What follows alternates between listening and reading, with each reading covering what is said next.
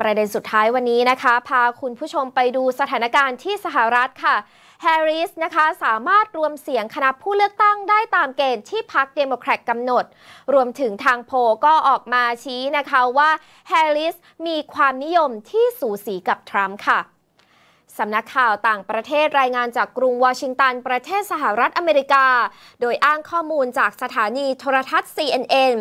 ว่านางกมลาแฮร์ริส รองประธานาธิบดีสหรัฐ สามารถรวบรวมเสียงสนับสนุนจากคณะผู้เลือกตั้งของพรรคเดโมแครตได้แล้ว อย่างน้อย 1,976 เสียง จากทั้งหมด 4,000 กว่าเสียงค่ะ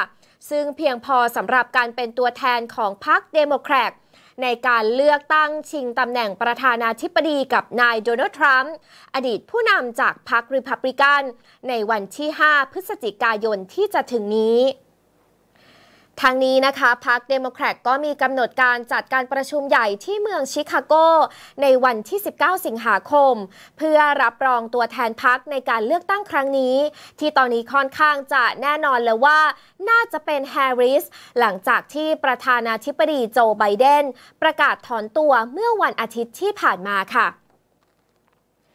ด้านผลสำรวจความเห็นโดยสำนักข่าวรอยเตอร์สนะคะ ร่วมกับศูนย์วิจัยอิปซอสเมื่อสัปดาห์ที่แล้วพบว่า ทรัมป์และแฮร์ริสมีคะแนนนิยมเท่ากัน ส่วนผลสำรวจโดยสถานีโทรทัศน์ CBS ร่วมกับศูนย์วิจัยศูนย์วิจัยยูกอฟค่ะ ก็เปิดเผยว่าแฮร์ริสมีความนิยมตามหลังทรัมป์เพียงเล็กน้อยเท่านั้น ขณะที่ผลสำรวจความคิดเห็นของชาวอเมริกันเป็นวงกว้าง โดยสถานีโทรทัศน์ NBC เมื่อเดือนมิถุนายนที่ผ่านมา ปรากฏว่าคะแนนการยอมรับของแฮร์ริสอยู่เพียง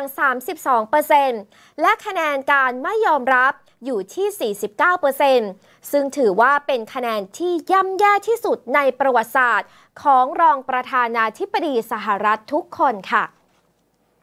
นี่ก็เป็นในส่วนความเคลื่อนไหวของสถานการณ์ที่สหรัฐนะคะ ก็ต้องมาจับตาดูกันต่อว่าการเลือกตั้งที่จะถึงนี้ สุดท้ายแล้วใครจะได้ดำรงตำแหน่งประธานาธิบดีสหรัฐค่ะ